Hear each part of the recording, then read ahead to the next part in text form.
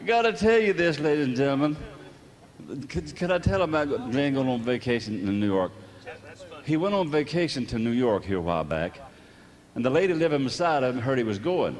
And so she came over and said, Glenn, my son went to New York eight years ago. I haven't heard a word from him. When you get to New York, look him up.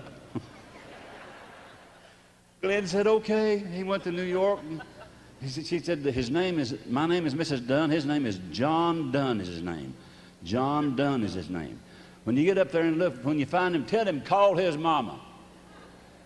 Ben got on a plane, went to New York, got in the cab, went downtown, getting out of the cab, big brick wall and a long, big black sign said, Dun and Bradstreet.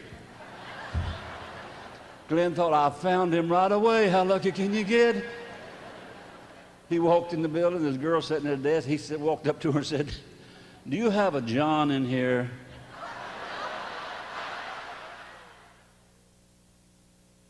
And she said, Right through that door. And Glenn went in there, and there's a guy coming out of a stall, and Glenn said, Are you done?